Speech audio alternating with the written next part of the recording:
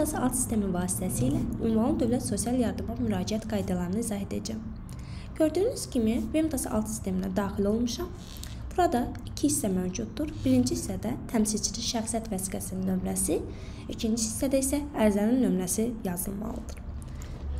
Asan xidmətdən və yaxud da ki, müvafiq notariat orqanından əldə etdiyiniz təmsilçilik ərizəsini ərizəsində həm təmsilçinin şəxsiyyət vəsiqəsinin seriya nömrəsi, həmçinin də ərizənin nömrəsi qeyd olunur.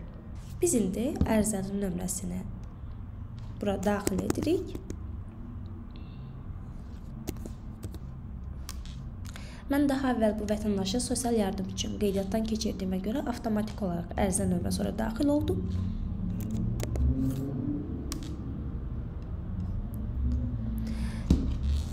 Göstərilənləri qeyd etdikdən sonra daxil ol düyməsini basırıq. Gördüyünüz kimi yeni səhifə gəldi. Burada ərizədəki telefon nömrələrindən birini qeyd etmək lazımdır.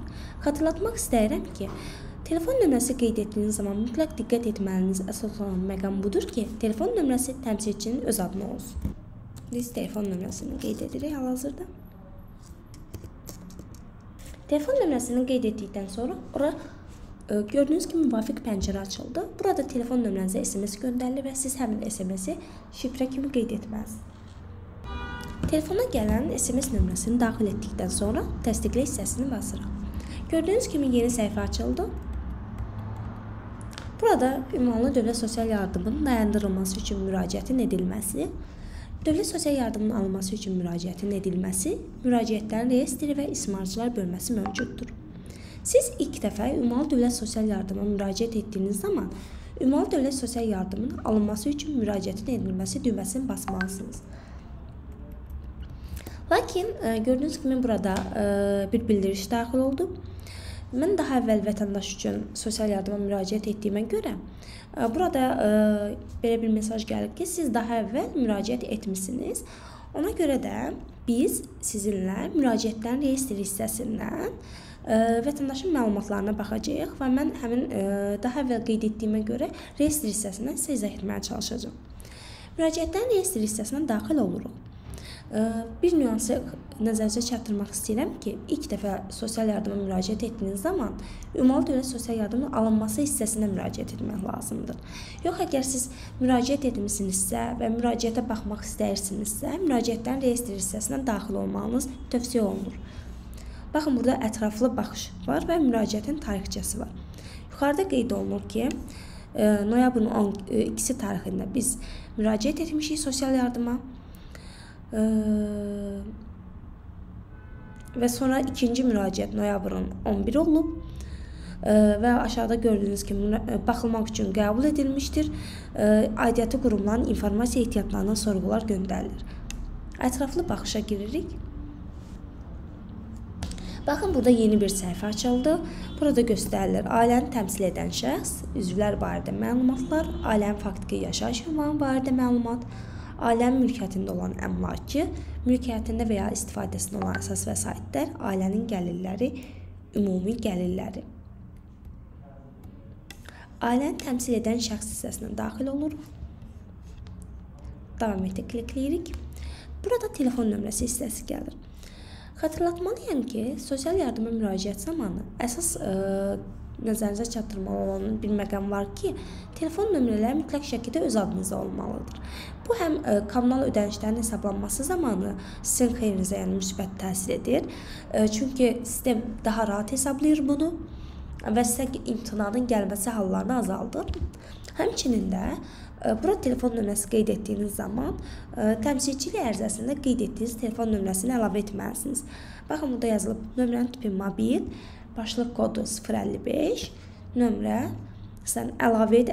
Əgər iki nömrəniz varsa öz adınıza əlavə etdən onu klikləyirsiniz və yaxud da dəyişiklik etmirsinizsə, dəyişiklik et və yaxud da sil. Sonra davam edirsiniz. Yeni bir səhifə açıldı.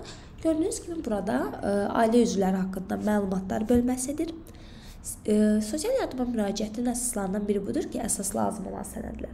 JEK-dən və yaxud da ki, bələdiyyədən və yaxud da ki, müvafiq notariat orqanından ali tərkibi barədə arayış almalısınız. Həmin arayış əsasında asan xidmətdən təmsilçilik ərizəsi alırsınız. Və burada sistem ailə tərkibinə daxil etdiyiniz üzvləri göstərir. Baxın burada təmsilçi qismində Əzizova Sevil və Əzizov Məhəmməd İsa'nın övladıdır. Biz Əzizova Sevilə ətraflı baxışa daxil oluruq. Aha, yeni səhifə açıldı. Deməli, təmsilçi barədə məlumatları doldurmaq lazımdır. Burada yazıb 8 yaşına çatmamış uşağa qulluq edən şəxs. Əgər bəlidirsə, bəli, xeyirsə, xeyri qeyd etmək lazımdır. Əgər siz əmək qabiliyyətlisinizsə və işləmirsinizsə, himayənizdə 8 yaşına çatmamış uşağın olması sizi işləmə öhdəliyindən azad edir. İkinci hissədə sahibkarlıq fəaliyyəti ilə məşğuldur. Bəli və yaxud da ki, xeyr. Bu hansı hallarda olur? Əgər sizin adınıza aktiv üyə varsa və yaxud da ki, sizin müəyyəniniz varsa, siz sahibkar kimi qeydiyyatdan keçmisinizsə, bu zaman sahibkarlıq fəaliyyəti ilə məşğuldur hissəsinə bəli, yox keçməmisinizsə, xeyr hissəsini klikləmək lazımdır. Əgər bəli qeyd edirsinizsə, orada vəyin haqqında məlumatlar daxil olur. Vəyin şəhadətnaməsində nəzərdə tutulan məlumatları qeyd etməyiniz tövsiyə olunur. Burada sual verilib, tələbədir dövlət hesabına. Əgər siz dövlət sifarişdə oxuyursunuzsa, bəli düyməsini qeyd etməlisiniz. Yox, əgər ödənişli təhsil alırsınızsa, məsələn, burada bəli və yaxud da ki, xeyri klikləmək lazımdır. Tam dövlət təminatında olan şəxsdir. Bu nə deməkdir? Qocalar evində və yaxud da ki, uşaq evlərində qalan şəxslər dövlət təminatında olan şəxslər hesab olunur. Əgər siz qocalar evində müraciət edirsinizsə və yaxud da ki, uşaq evində müraciət edirsinizsə sosial yardımın alınması üçün burada bəli, yox, əks halda isə xeyri qeydləmək lazımdır. Təhsil təqaüdü alırsınızsa, bəli, almırsınızsa, xeyri qeyd etmək lazımdır. Davam etib vururuq. Windows alt sisteminin ə, e, mənfi olan xüsusiyyətlərindən biri odur ki, ə, e, bu sistemdə donmalar ə, e, daha çox olur. Ona görə də Ümumi Dövlət Sosial Yardıma qeydiyyat zamanı bir qədər səbirli olmanızı tövsiyə edərəm. Baxın, burada yeni bir səhifə açıldı. Burada qeyd olunur ki, 8 yaşına çatmamış uşaq. Məsələn, əlavə et hissəsindən siz 8 yaşına çatmamış uşağı, burada gördüyünüz kimi bir variant var, Əzizov Məhəmməd. Bunu qeyd edib ok hissəsini basırsınız, sonra da davam edib vurursunuz. Məsələn, əlavə etib bir də eləyək. Əzov Məhəmməd. Gördüyünüz kimi buradan davam et hissəsinə vururuq. Ailənin gəlirləri barədə məlumatlar. Nəzərinizə çatdırmalıyam ki, bu gəlirlər ümumi gəlirləri əhatə edir. Yəni siz əgər e, muzlu işçisinizsə və əmək müqaviləsi ilə işləyirsinizsə, bura gəlirlərinizi yazmaya ehtiyac yoxdur. Çünki həmin gəlirlər sistem tərəfindən avtomatik olaraq hesablanır. Ümumi gəlirlər dedikdə isə Məsələn, əlavə et hissəsinə vururuq. Burada seçim et düyməsi var. Dividendlərdən, qonorarlardan, sair gəlirlər, əmanət üzrə faiz gəlirləri, əskinas üzrə uduşlar və ödəmələr nəzərdə tutulur. Əgər bunların heç biri yoxdursa, imtinana vurub davam etmək məqsədə uyğundur. İkinci isə ailə üzvlərinin e, gəlirləri barədə yenə məlumatlardır. Əgər siz aliment alırsınızsa, həmin alimentin miqdarını 12-yə vurub bura qeyd etməlisiniz. Qeyd etməliyəm ki, məhkəmə qətnaməsi ilə aliment təyin olunduğu zaman, əgər həmin alimenti almaqda çətinlik çəkirsinizsə və yaxud da ki, almırsınızsa, ə, ola bilər ki, məsələn, uzun müddətdir ki, aliment almırsınız. Lakin sistemə onu qeyd etmədikdə gəlir kimi bu imtinaya səbəb olur. Ona görə də məqsədə uyğundur ki, məhkəmə qətnaməsində nəzərdə tutulan alimenti 12-yə vurub bura yazasınız. Sığorta ödənişi alırsınızsa, bura qeyd etmək lazımdır. Və yaxud da ki, burada məsələn yazılır ki, naturada sosial transfertlər, hər hansı başqa digər gəlirləriniz varsa, bunları yazmağınız tövsiyə olunur. Sonra davam edək klikləyirik. İkinci isə Əzov Məhəmməd Vüqaroğlu ailə tərkibinə daxil olan digər şəxsdir. Onun haqqında məlumatlar daxil olur. 8 yaşına çatmamış olduğuna görə baxın sistem burada bizə alternativ sadəcə 3 sualı verir. Əgər şagirddirsə, bəli və yaxud ki, xeyr. Tam dövlət təminatında olan şəxsdir. Bir qədər əvvəl izah etdim bunu. Bəli və yaxud ki, xeyr. Təhsil təqaüdü alır. Bəli və yaxud ki, xeyr. Davam etə klikləyirsiniz.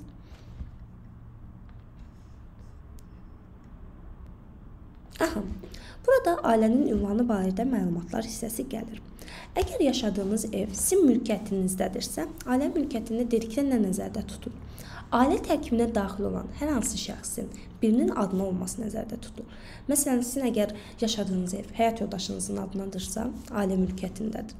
Və yaxud da ki, əgər siz birgə qaynatanız, qaynananızla yaşayırsınızsa, ailə tərkibinə onlar da daxil etmisinizsə və əgər həmin ev onlardan birinin mülkiyyətindədirsə, bu da ailənin mülkiyyətində hissəsinə qeyd olunur. Əgər siz kirayədə qalırsınızsa və kirayə müqaviləsi bağlamısınızsa, ailə kirayədə qalır hissəsini qeyd etmək lazımdır. Ailə kirayədə qalır hissəsini qeyd etdikdən sonra baxın, ailənin aylık kirayə haqqı hissəsi burada yazılır. Kirayə müqaviləsində nəzərdə tutan kirayə haqqını bura yazmaq tövsiyə olunur. Kirayə müqaviləsinin müddəti bura qeyd olunmalıdır. Və yaxud da ki, üçüncü hissə. Ailə ödəniş etmədən bu ünvanda yaşayır. Ola bilər ki, həmin ev ə, e, sizin qohumunuzundur və yaxud da ki, məsələn, atanızın evidir. Atanız ə, e, ehtiyac yoxdur həmin evdə qalmağa və o deyir ki, siz bu evdə yaşayasınız. Və yaxud da ki, ə, e, başqa yaxın qohumunuzun evidir və siz ə, kirayə ödənişi ödəmirsiniz, lakin ev sizin mülkiyyətinizdə deyil, amma həmin evdə yaşayırsınız. Bu zaman ailə ödəniş etmədən bu ünvanda qalır hissəsini klikləmək lazımdır. Ünvanla bağlı məlumatların qeyd olunması sosial yardım üçün müraciətin əsas meydanlarından biridir. E, çünki imtahanların ən çox səbəblərindən biri yaşayış ünvanının düzgün qeyd edilməməsidir. Mən sizə tövsiyə edərdim ki, JEK-dən aldığınız və yaxud da bələdiyyədən aldığınız ailə tərkibi haqqında arayışda qeyd olunan ünvanı dəqiqliklə bura yazasınız. Məsələn, bu vətəndaş Masallıda qalırdı. Baxın burada müxtəlif bölgələrimizin adları qeyd olunur. İki, əgər sizin qaldığınız yerdə və yaxud da qəsəbə varsa, məsələn, burada ə, biz yuxarıda Masallı qeyd etdiyimiz üçün burada Masallının qəsəbələridir. Qəsəbələri qeyd etmək və yaxud da ki, kənd varsa, kəndləri qeyd edirik burada. Ə, yox, əgər siz kənddə qalmırsınızsa, şəhərdə qalırsınızsa, küçə adı bura qeyd etmək lazımdır. Ə, küçə adını qeyd etmək üçün məsələn seçim yoxdur, bunu özünüz qeyd etməlisiniz. Evin nömrəsi. Əgər bina evində qalırsınızsa, evin nömrəsi, mənzilin nömrəsi varsa, burada mənzil nömrəsi qeyd olunur.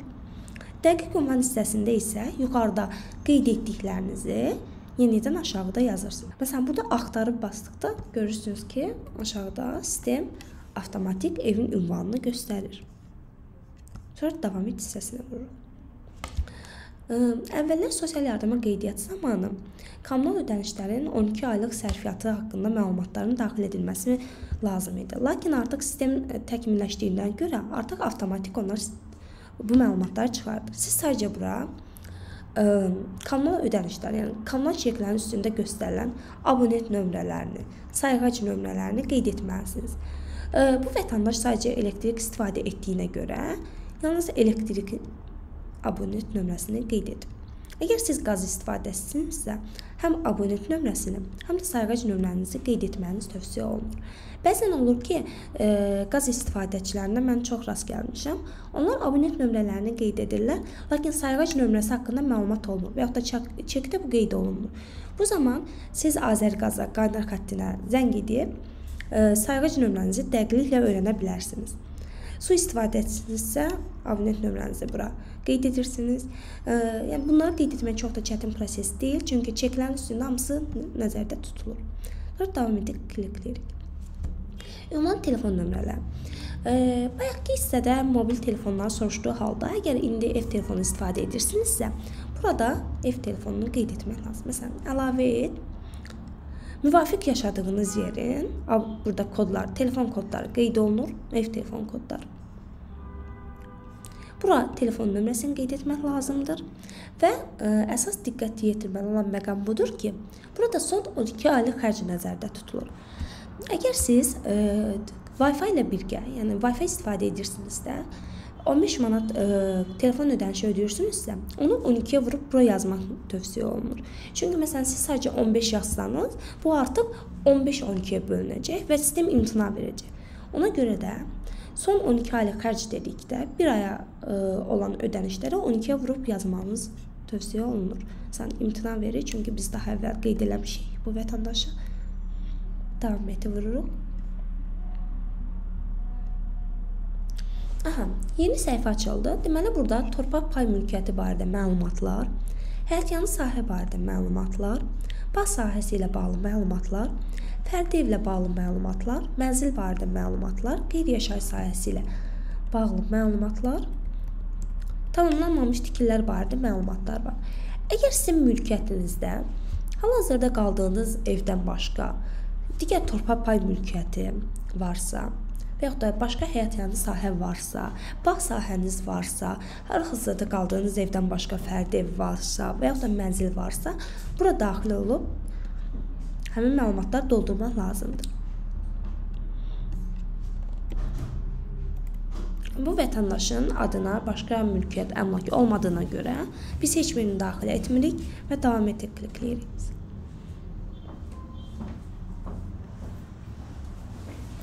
Burada gördüyünüz kimi mülkiyyətində və ya istifadəsində olan əsas vəsaitlər hissəsi daxil olur.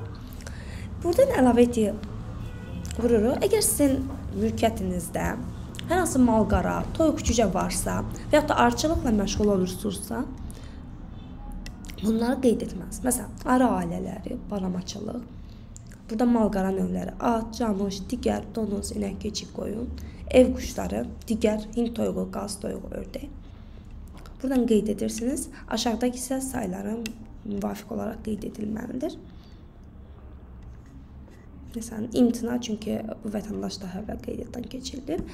Bir də nəzərinizə çatdırmaq istəyirəm ki, ə, sistemdə hal-hazırda bu hissə olmadığına görə ola bilər ki, ə, sizin bir inəyiniz, bir buzovunuz var və siz ə, onu necə qeyd etmək lazım olduğunu bilmirsiniz. Belə olan halda onu 2 inək kimi qeyd etməlisiniz. Çünki məsələn, Əlavə et hissəsinə qayıtdığımız zaman gördüyümüz kimi burada e, heyvanların e, balaları barədə məlumat nəzərdə tutulmur. Yəni bütöv şəkildə. Məsələn, camışınız, bir camışınız 3 e, balası varsa, o zaman 4 camış olaraq qeyd edilməlidir.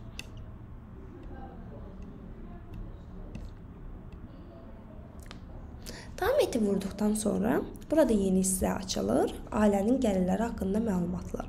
Əgər siz son 1 il ərzində fərdi satışından gəlir əldə etmisinizsə, bura daxil edirsiniz. Fərdi bağın satışından gəlir əldə etmisinizsə, bura torpaq sahəsinin satışından gəlirlər bura, mənzil satışından gəlirlər bura, avtomobil satışından gəlirlər bura, malqara satışından gəlirlər və digər əmlak satışından əldə olunan gəlirlər qeyd olunmalıdır. Ümumi dövlət sosial yardıma müraciət etdiyiniz zaman Ventas 6 sistemi sizin son 1 il ərzində 12 1 il ərzində ümumi gəlirlərinizi hesablayır və 1 il ərzində hər hansı bir əmlak satışı və yaxud da malqara satışı baş veribsə, bu zaman onları bura daxil etməniz məqsədə uyğundur. Baxın burada kənd təsərrüfatından gəlirlər. Bayaq biz vətəndaşın toyuq cücəsi barədə məlumatları daxil etdiyimiz zaman sistem özü, yəni Kənd Təsərrüfatı Nazirliyi özü həmin toyuq və cücənin ümumi gəlirlərini avtomatik olaraq hesablayır. Burada görürsüz digər ailələrdən alınmış gəlirlər hissəsi var. Bu hansı hallarda olur? Əgər siz ə, heç bir gəliriniz yoxdursa və yaxud da ki, ə, bu daha çox ə, yəni nikah müqaviləsi pozulmuş, yəni boşanmış ə, şəxslərdə rast gəlinən haldır ki, onlar bəzən ailə üzvlərindən yardım alırlar. Həmin yardımı siz digər ailələrdən alınmış gəlirlər. Məsələn, bu yaxın qohumlardan ola bilər və yaxud da ki, hər hansı qonşudan ola bilər və s. Və bunu qeyd etməliyik ki, bu gəlirləri daxil etdiyiniz zaman bunu 12-yə vurub daxil etməlisiniz. Məsələn, e, bu xanım ailə üzvündən, yəni atasından ayda 100 manat məbləğində yardım alır, onu da 12-yə vururuq, 1200 manatı bura qeyd edirik. Əgər sizə ölkə xaricindən pul göndərilibsə, bank hesabınıza Bura qeyd etməlisiniz. Baxın, artıq yavaş-yavaş sona gəlirik. Sistem bizə ümumi məlumatları çıxartdı. Ailənin gəlirləri 1604 manat 68 mülkiyyətindən gəlirlər. Yəni toyuq cücədən və yaxud da ki, digər əgər əmlak varsa, gəlirlər olsaydı burada yazılacaqdı.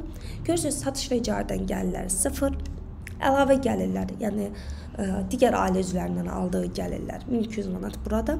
Ümumi gəlirləri isə 285 manat burada göstərilir. Kommunal xərcləri, məsələn, elektrik ödəyicisidir bu. Burada bu vətəndaşın kommunal xərcləri sıfır göstərilir. Çünki bu vətəndaş sosial yardıma müraciət etdiyi zaman elektrik xəttini yeni açmışdı və problem var idi. Sistemlə əlaqə biz Azər İşıqla əlaqə saxladıq və Onlar bizə müəyyənləşdirdi ki, sistem onu sıfır göstərir.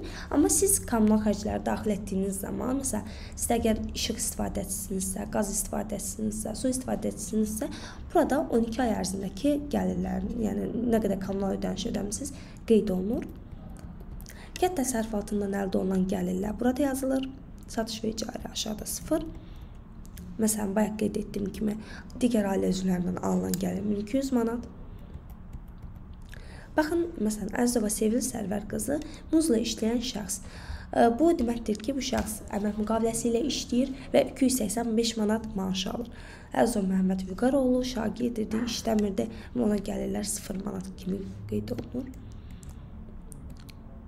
Yuxarıda da gördüyünüz kimi ailə üzvünün orta aylıq gəliri 66 manat 86 qəpik qeyd olunur.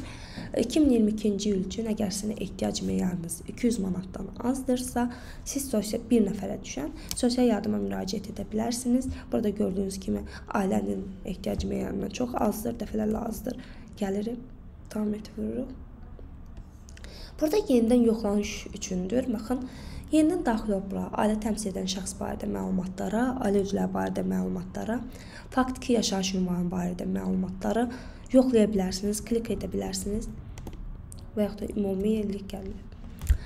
Bu müraciətlərin reyestri vasitəsilə daxil olduğuma görə sonda təsdiq et e, düyməsi yoxdur.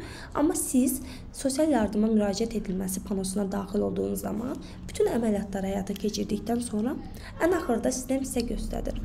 Ərizə bəyannaməsi doldurulsun, yəni təsdiq edilsin. Təsdiq edildikdən sonra siz təsdiq et düyməsinə, əgər əminsinizsə, qeyd etdiyiniz məlumatların hamısı düzdür, təsdiq et düyməsinə vurursunuz. Ondan sonra yeni bir pano açılır. Orada göstərilir ki, bildiriş Yəni ərizə bəyannaməsinin qəbul olunması barədə bildiriş var. Həmin bildirişi yüklərsiniz. Həmin bildirişdə qeyd olunur ki, 3 gün ərzində bu məlumatlar müvafiq olaraq aidiyyatı qurumlara göndərilir, informasiya sorğuları göndərilir.